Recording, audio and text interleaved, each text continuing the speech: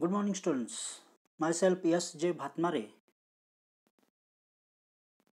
and in this lecture series of environmental engineering, we will discuss about solid waste management. During this lockdown period, we are taking the lectures online mode, and this is the third lecture on solid waste management. Okay, so in this lecture, we will discuss about kinds of wastes waste generation, solid waste in India, and solid waste management methods. Okay, so let's start with the waste.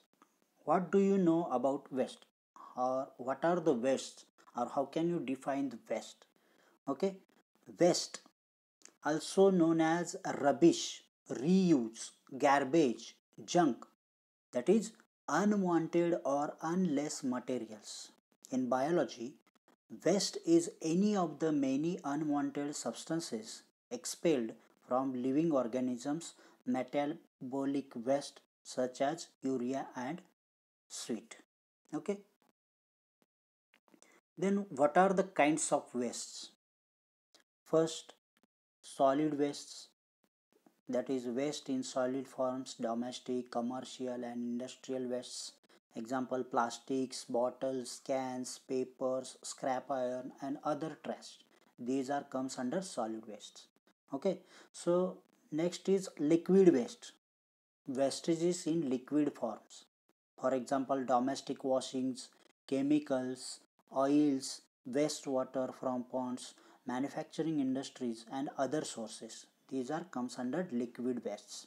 Then biodegradable can be degraded that is paper, wood, fruits and others. Okay. Then non-degradable, non-degradable cannot be degraded. That means plastic, bottles, old machines, cans, styrofoams, containers and others. These are comes under non-biodegradable. Then hazardous wastes substances unsafe to use commercially, industrially, agriculturally or economically and have any of the following properties ignitability, corrosivity, reactivity and toxicity. These are the hazardous wastes. Then non-hazardous substances safe to use commercially, industrially, agriculturally or economically and do not have any of those properties mentioned above. These substances usually create disposal problems. Okay. Then classification of wastes according to the their origin and type. Okay. Municipal solid waste. Under this solid waste that include threshold household garbage rubbish construction and packaging materials trade refuges etc are managed by an any municipality. Then second biomedical wastes solid or liquid wastes including container products generated during diagnosis in treatment and research activities of medical science. Then industrial wastes liquid and solid waste that are generated by manufacturing and processing units of various industries like chemical petroleum coal metal gas sanitary and paper etc then agricultural wastes Waste generated from farming activities, these are substances are mostly biodegradable. Okay. Then fishery wastes, waste generated due to fishery activities. And last, e-wastes, electronic wastes generated from any modern establishments. They may be described as discarded electrical or electronic devices. Some electronic scrap components such as CRTs, wires, circuits, mobile, computers, etc. Okay. These are the sources of wastes. Households, industries, etc. Okay. Agriculture, fisheries. You can see in the figures what are the different sources of waste. By this pie chart, you can see what is the percentage of paper and paperboard, plastic, wood, food scraps, metals, grass, yard trimmings, rubber, leather or textile and others that is 28.5% paper and paperboard food scraps are 13.9% 13.4% yard and trimmings plastics are 12.4% metals are 9% rubber leather and textiles are 8.4% wood 6.4% 4.6% glass and others are 3.4% these are the sources of waste in the percentage. Then structure of solid waste. First solid waste that is reuse and trash. Under reuse garbage and rubbish are there. And under trash bulky waste tv refrigerators goods broken furniture are been then then under rubbish non-degradable grass rubber glass rubber metal plastics or non-metal sets are set. And under garbage vegetables meats food waste and other readily degradable organic wastes are included. Okay? Slowly degradable paper wood products textile etc comes under rubbish. Okay? Then waste generation rates of some asian countries first nepal 240 gni cube that is waste generation 0.2 to 0.5 percent kg per capita per day per kg per capita day reference is taken from UNEP 2001. Similarly, in India, 450 GNI cube that is 0.3 to 0.6 kg per capita day. Okay, these are the uh, waste generation rates of some Asian countries such as Nepal, California, Bangladesh, Vietnam, Pakistan, Indonesia, India, China, Sri Lanka, Philippines, Thailand. Okay. Then MSW generation form the metropolitan cities of India's. That is, state has been given, city has been given, and urban population in lakhs, according to 2001, has been given, and MSW generated metatons per day has been shown in this table.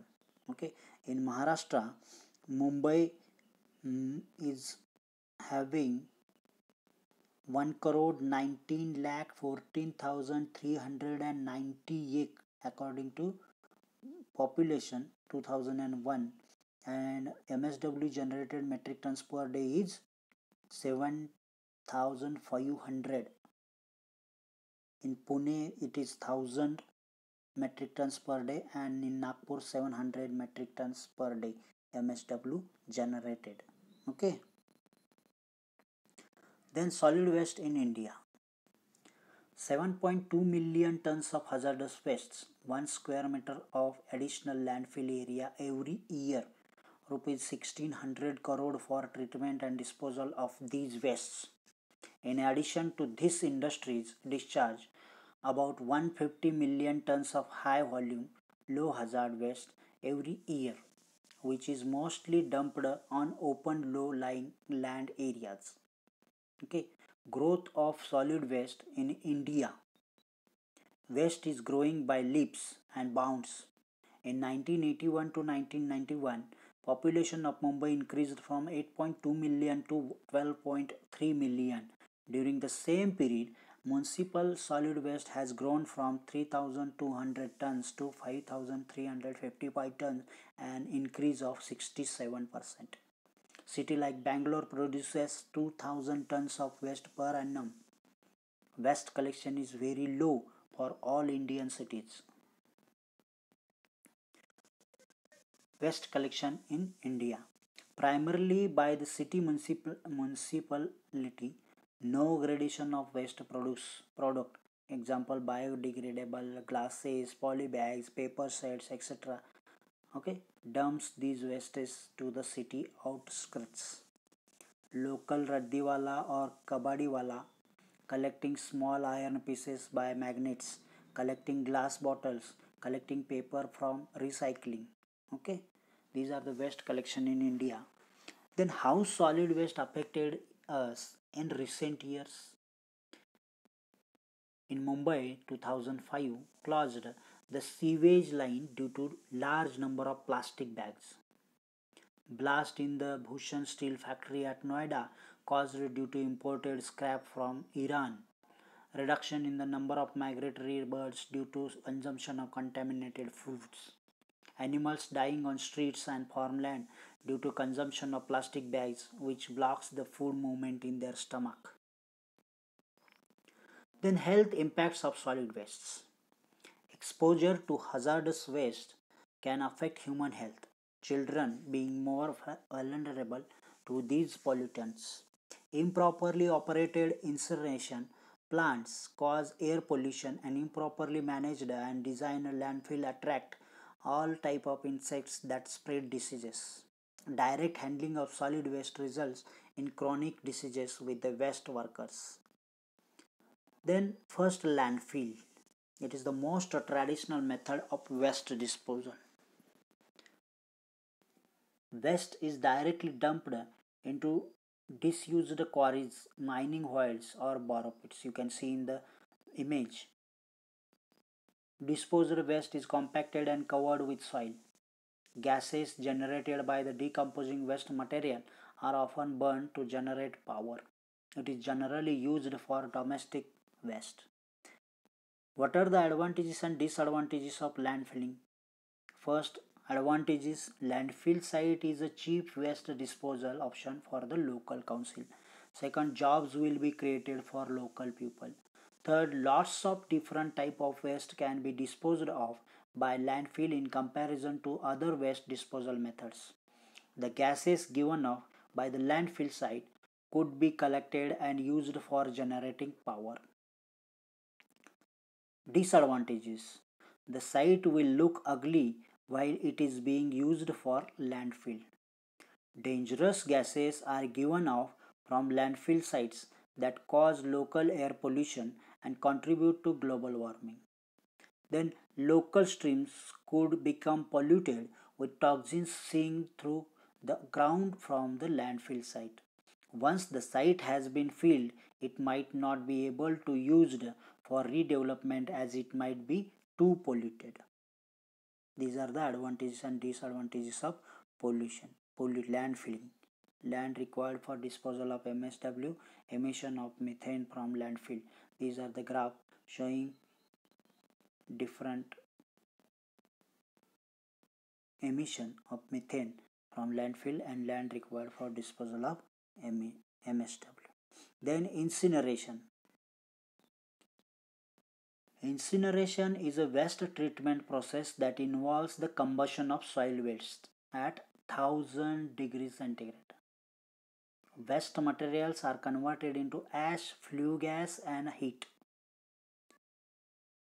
The ash is mostly formed by the inorganic constituents of the waste and gases due to the organic waste. The heat generated by incineration is used to generate electric power. You can see in the figure the steam is used to propel turbines to generate electricity. Then what are the advantages of incinerations? First advantage is minimum of land is needed compared to other disposal methods. Second, the weight of the waste is reduced to 25% of the initial value. No risk of polluting local streams and groundwaters as in landfills. Incineration plants can be located close to residential areas and gases are used to generate power. These are the advantages of incineration waste disposal system. And the disadvantages are expensive, required skilled labors are the chemicals that would be released into the air could be strong pollutants and may destroy ozone layer major disadvantage this is and high energy requirement is there then compaction. The waste is compacted or compressed. It also breaks up large or fragile items of waste. This process is inconspicuous in the field at the back end of many garbage collection vehicles. Deposit refuse at bottom of slope for best compaction and control of blowing litter. You can see in the figure. Then pyrolysis Pyrolysis is defined as thermal degradation of waste in the absence of air to produce char. Pyrolysis oil and syngas. Example, the conversion of wood to coal, charcoal, Also, it is defined as destructive distillation of waste in the absence of oxygen. External source of heat is employed in this process. You can see in the figure pre-treatment of biomass, char collection, quench system, bio-oil storage, pyrolysis reaction has been shown. Then first two and third figures pyrolysis reaction in detail the char collection and coin system in detail in figure shows different processes. Then three r's. Reduce reuse and recycle. These are the three most important r's. In reduce you can help by recycling. One third of all garbage is packaging buy things that are in packages that can be recycled or are made of recycled materials. When you buy something small, say no thanks to a bag. Then reuse. Many things can be reused before you throw them out. Use coffee cans and cottage cheese containers for storage. Use bags of paper or bags of used envelopes for jotting notes. Put leftovers in re reusable containers instead of using wraps and foil. Use old cloths as rags for cleaning instead of paper towels. Have a garage sale or donate clothes, books, or toys that you don't use anymore. And the third, recycle. Each year, we use 25 billion plastic containers, 30 billion bottles and jars, 65 billion aluminum cans, 100 billion pounds of paper. These three r's are most important. So lastly we conclude that it is found that which increase in the global population and the rising demand for food and other essentials there has been a rise in the amount of waste being generated daily by each household. Waste that is not properly damaged managed especially excreta and other liquid and solid waste from households and the community are a serious health hazard and lead to the spread of infectious diseases. Thank you. So if you want any another information or in deep you can go through these references. Thank you. Thank you very much.